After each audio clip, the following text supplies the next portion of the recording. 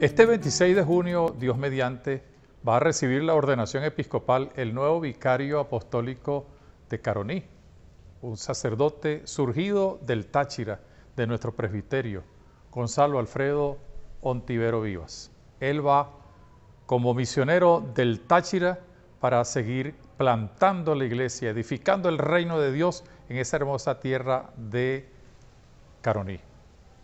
No dejemos de rezar por él y si te animas a participar en la misión, avísanos y únete a nosotros. Dios te lo premiará.